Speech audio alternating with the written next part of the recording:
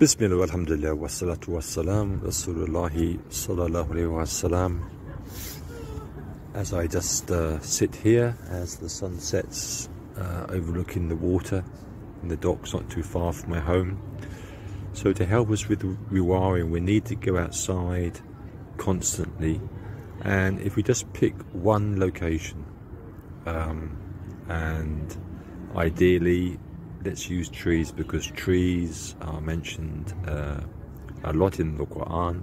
They resemble the, the believer in many ways uh, and also the non believers as well.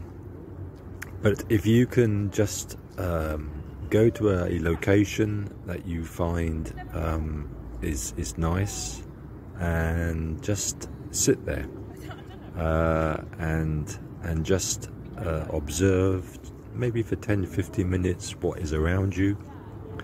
Um, listen to all of the sounds that are going on.